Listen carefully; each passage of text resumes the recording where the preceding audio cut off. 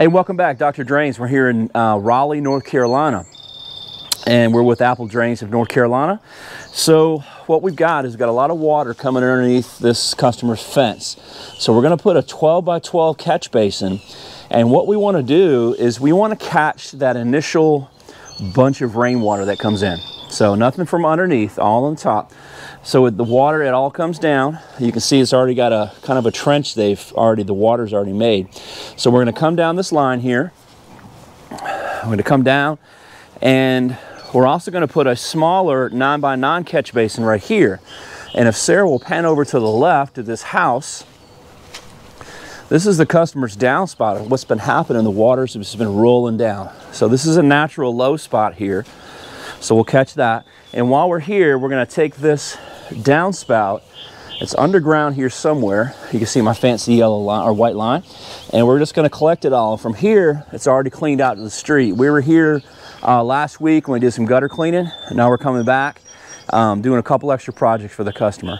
So what we've done is Sarah will come down here, look in the hole. We've taken the, we've taken this sod off the top because when we put it back, we want it to look really pretty. Here's where our nine by nine catch basin is gonna go.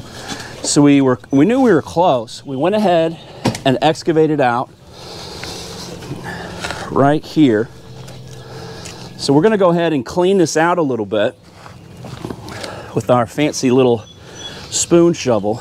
And what we wanna do is we wanna make sure we have enough room to cut our fitting in and then we're also, we're able to seal it.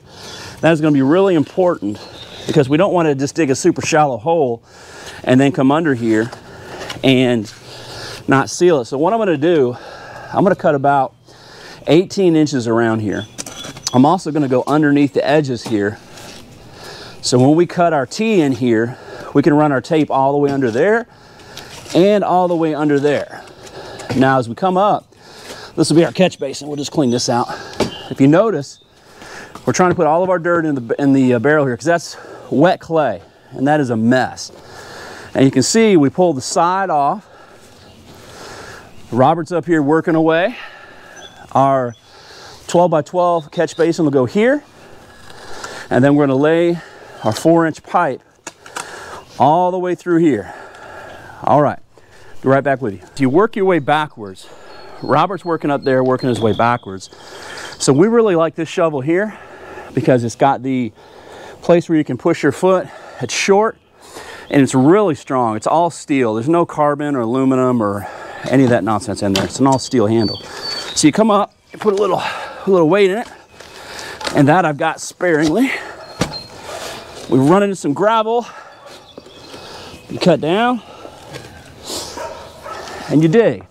And what you do, here's my spoon, there it is. Once you've dug the trench for the cleanup, it's really easy. You take your little spoon, because it only has to be about five or six inches wide. And you just work your way down. And if you find a spot, this one we may have to clean up a little bit here. We just want it wide enough to get that pipe in there. Remember, it's a four inch corrugated pipe, but they were measured about four and a half inches across. And we'll just make our way down to the pit. We will make sure that we've got our fall. And we'll do this all the way up and then we'll come back to you. What we've run into is some white clay. This stuff's so aggravating. You can't get a shovel through it. The excavator struggles with it. When you're doing a small trench like this, the only way is to get you this tool. You can buy them at Lowe's, Home Depot. Get one with a little bit of weight to it. So you straddle the trench, and of course we already know there's no wires in here. We verify that. You straddle the trench. You hear that? That's how hard this stuff is. And you just keep pulling it up as you go. But I'm gonna tell you something. This white clay will make a fat man work. I'm gonna tell you right now. So I'm gonna eat me a couple of cheeseburgers today because I'm gonna lose too much weight. I'm trying to keep my slim figure. But this is a workout. Don't let nobody fool you. All right, so what we're gonna do is we're gonna tee this in. We're gonna have this pipe coming right here. So you wanna measure enough for the pipe to go in right here on the sides. You wanna take your sawzall and cut it through all the way through the solid pipe. Both sides.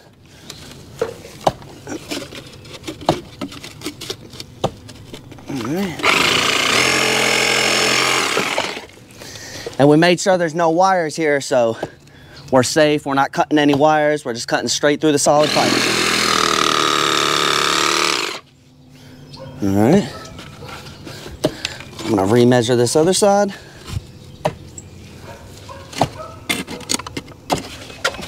All right, so now we've cut our section of our pipe out for our tee.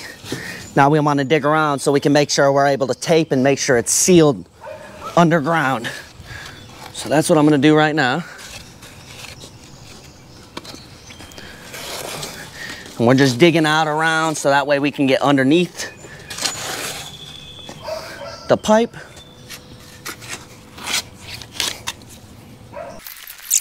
So what Robert's doing is really important.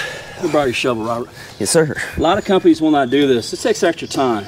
What we do on every solid pipe is we're gonna dig around it, we're gonna hook it on there, and then we're gonna put our PVC pipe on.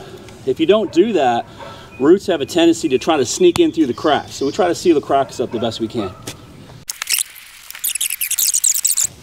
So what I've asked Sarah and Robert to do is there may be an occasional break. That's just because uh, it's hard to upload long files. So what we're gonna do is I want you guys to see the ugly part of this job. Usually what you'll see on YouTube, everything's clean and pretty and that's after about 10 takes. We're doing this live. So if you're a DIY and it takes you more than 10 minutes to do this, it's because it took the contractor. Wait, just. It's because she's videoing me now. Ah, hey, we're still here. It's okay. Uh, I want you to see what Robert's getting ready to do. It's because it takes a while to do this. It's not all pretty. I don't care how long you've been doing it. So don't be fooled by the YouTube uh, fakers. And we're gonna actually take a little bit more off.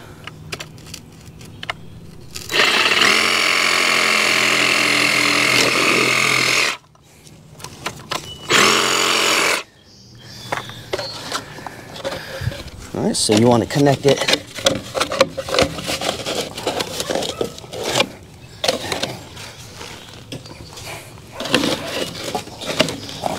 to one side.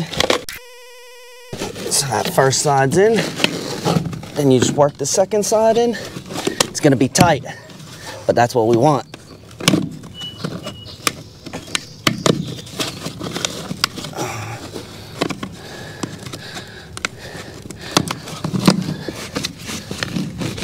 All right. So we got the tee in. Now we're ready to tape it. All right, so now what we're gonna do is we're gonna we're gonna tape the PVC. Now what you don't wanna do is cut it too short. Boss didn't want this, but you know, no editing. Shh, don't tell him. It helps that I'm dating the boss's daughter. All right, so what we're gonna do though is we're gonna take our long piece of tape and we wanna get right over top of it, all right? All right, and we wanna squeeze that like this, make sure that tape seals on there nice and tight.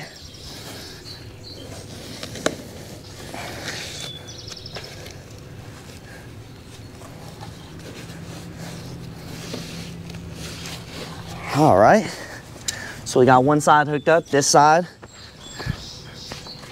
we're gonna cut it long enough. Again, we're gonna go around.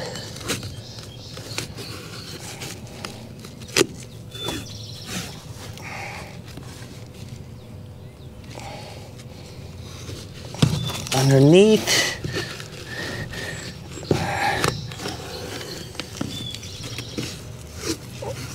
And we just really want this to seal nice and tight. We're gonna squeeze it. Make sure that tape really sticks to that pipe once again.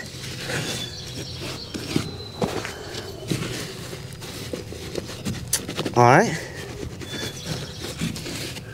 This is a standard 9 by 9 catch basin. So I want to show you, if you see this one right here is a little bit lower than this one. So the magic of this basin is it comes off. If you want it to be higher, you can put it in higher so it can be up. Or if you want it to be part way down, like we need it uh, a little bit lower. So like our situation here, Sarah will show you, what we're gonna have to do is here's where our pipe comes out. We're gonna have to move this over a little bit. We're gonna set our catch basin in. Now this fitting is gonna be lower than this fitting, so we'll trench this out and get it night. But what we can do, we can set it in to where we catch the high water and deposit it in the low water just like that. So we will excavate this out a little bit more, turn our pipe a little bit, and we'll be good to go. Okay, so what we've done, well, what Sarah's done is uh, she has excavated this out. So what you want to do is make sure that your fittings are going to work. So what I've done here is I've cut a short piece of connector so it will fit in here. So you want to slip it on and it's going to fit right in there like that. So we'll take this up and obviously we're going to level this out. Most importantly, you want to make sure this is going to have the right angle. So what Sarah has done here is she has turned this to when our pipe comes down and we'll clean this out here. It's going to snap right on there. So now what we can do is you want to do as much work outside the trench as possible because it's easier. Smarter, not harder, right? Learned that somewhere in the Army. The Marines don't teach that. They teach harder and harder. Harder and harder. Harder and harder. Robert is a yeah, there you go. You know what he is. so you want to go ahead and tape it on there, get it good and tight. You should seal it up. Now when we put this on, I'm not going to do it right now because we want to level out a little bit. We're going to slide it back in there. Sarah will come over here. This connector right here to here. It'll slide all the way to the edge. So we're going to tape this whole section right here. And when we get this set into level, we'll come back and I'll show you us taping that. And if you notice, we've got room on the bottom here. So, you know, you guys know I use the reference to my Appalachian American friends. We're gonna have, is it Jim Bob and Cletus? Bubba and Cletus. Bubba and Cletus, thank you. Bubba and Cletus are gonna put a piece on the top, makes it look like it's wrapped all the way around. It's not. So what we're gonna do is we're gonna do a complete wrap. I'm gonna show that to you. Uh, we're gonna run our pipe. We'll show you the connections. And we're also going to show you the level on these, how to check the level, because you don't want it cattywampus like that. Um, so we're looking good. We'll get back to you. All right, we're back. Sorry, card error. So uh, no video editing tricks. I mean that. So it's best if you have some tape, just put some extra tape on it. Uh, tape is cheap. Sarah's gonna cut uh, towards herself, which I did not teach Sorry. her. She's gonna put another piece on there. Just overlap. Try to keep the mud off of the tape as much as possible. Um, it's, it's hard to do in a hole like this, but we did leave extra room underneath. Thank you for the assist, Robert. Absolutely. So Sarah has got that wrapped up and that is tight. Now we're gonna have Robert come in here and show us how to level this and tell us why we have the depth where it's at. All right, so we got our four inch pipe coming from our basin down there, coming into this basin. So it's gonna flow through here once it fills up enough to here, it's gonna go into the tee and shoot out to drain, just like we want. So what have you got there, Robert? Let's lay that flat so we can see that bubble. All right, so this is a our little level. All right, and we got a little bit of fall towards the tee, which is what we want, just so the water has direction. And, and that's a great point. We can do this absolutely flat, Oh, we can pitch it a little bit. We like to pitch it. It helps drain the box a little bit. You can put it on there flat as well, no problem. And what about the other way, Robert, left or right? Mm -hmm. All right, we got a little adjustment here. Yep. This adjustment you want perfectly level. So what we're gonna do is we're gonna bring in some dirt, we're gonna level it out, and then we're gonna pack around it. We're gonna most importantly pack under here and under here. If you don't pack underneath this, what's gonna happen is it's gonna settle. And we've got it about an inch below, maybe half an inch below grade. So the water's gonna come down and it's gonna absorb into this. So uh, I'm gonna let these two play in the dirt for a while and we'll be right back. We're back at our 12 by 12 catch basin. The reason I really like this catch basin, can I see that, Robert? Yes, sir. Most catch basins don't have filters. Now, I do have filters for the, our 9 by 9s So again, we're getting a new SD card. This one's giving us some problems. So this is a standard park, S-T-A-N-D-A-R-T P-A-R-K. Just Google them on Amazon, that's where I buy them at. But this basket is really nice. Um, you slide it in there, and as the leaves and debris get in, they'll come into the basket and it'll fill up. So you can literally, the customer can pop this off, knock it all out, pop it back in. So Robert's gonna put the cover on. And we don't screw the covers down, there's no reason for that. Um, then he's gonna take his little handy, and what we've got is it's a little bit off, we'll fix that right there. And Robert has got this set up to where it's pitching down a little bit. Now you can put this in absolutely level if you wish. Uh, we just got a tiny little bit of pitch there, so it'll pitch it it'll pitch it down out. So what we'll do is we'll adjust our trench to match this depth. And again, we're just below grade. All the water is going to come out right there from the neighbor's house. It's going to come in here and it's going down. It's going down to the street. All right, thank you. Cover this up, I wanted to show you how we did this. So down here, you see our catch basin and we put a T in there and everything is pitched correctly. So the water's going downhill. We stepped it down into the trench all the way to the top. We're getting ready to tape up there at the top. And we've dug this to where if you look down in here, we've got the, the sod is about four inches. So what we're gonna do is we're gonna push it in the trench. We're gonna backfill just to the crown, just to the top of that right there. Then we're gonna push it down in, step on it, make sure it's in there. Then we're just simply gonna take the sod and set it back on top. It's gonna look great. So you know the job's about done when I get my supervisor's mug out. This is me walking around, sipping on some coffee, doing a little supervisor. Mmm, the taste of a finished job. So what we've got here is our nine by nine basin. We wide in from the downspout and we're going to, it goes underground. So the downspout hooks up here, goes that way. We've got our basin, it comes up. And if you notice, we put all the side back. One good rain, you won't be able to see any of this. And we have our 12 by 12 here. Now this 12 by 12 is going to catch all this water coming underneath this customer's fence on this side and this side. Uh, it's going to go right down in there. And then anything that doesn't, maybe if it comes from the hill or what the customer was definitely worried about was his neighbor's downspout. That water is going to come right down here. You see the bare spot. It's going to come right down. It's going to hit this low spot and go right there. So what it's going to do, it's going to keep the water away from this customer's house. He's had some water issues. He's gonna have a mason come back and uh, block all these off because he's got an encapsulated crawl space. So that's gonna keep all the water out of the customer's house. So another job well done.